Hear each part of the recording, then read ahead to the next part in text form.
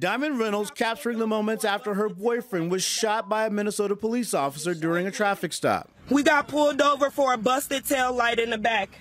And the police, he's, he's covered.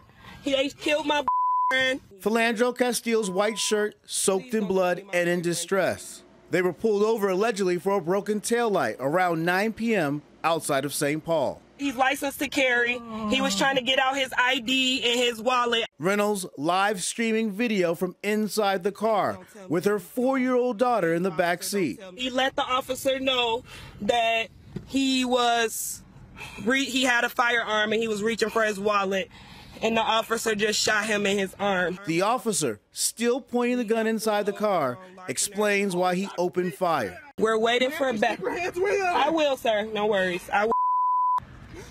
He just shot his arm off. We got pulled over on Larpenteur. I told him not to reach for it. I told him to get his hand out. Please don't tell me this, Lord. Please, Jesus, don't tell me that he's gone. Please don't tell me that he's gone. Please, officer, don't tell me that you just did this to him. You shot four bullets into him, sir. He was just getting his license and registration, sir. Multiple officers at the scene order Reynolds out of the car, handcuffing her. Her cell phone falls to the ground and she continues pleading with police. Please don't tell me he's gone. Please, Jesus, no! Please, no! Please, no! Don't let him be gone, Lord! Eyewitnesses capturing this video of officers trying to revive Castile before he's taken to the hospital where he died. Reynolds, then put in the backseat of a police car, continues talking to the camera. I can't believe they just did this. I'm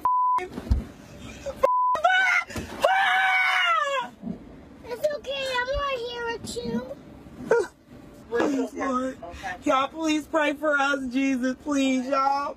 I ask everybody on Facebook, everybody that's watching, everybody that's tuned in, please pray for us. Reynolds says her boyfriend worked as a cafeteria supervisor at a St. Paul school and had no criminal record. Crowds gathering at the scene of the shooting and at the governor's mansion demanding answers. No justice! No sleep!